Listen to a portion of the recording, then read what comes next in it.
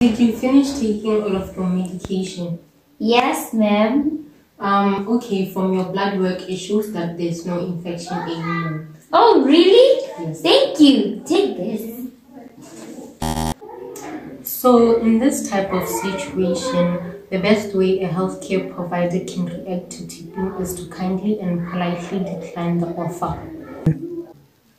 So, did you finish taking all of your medication? Yes, ma'am. Okay, uh, from the blood work, it shows that there's no infection anymore. Oh, really? Thank you.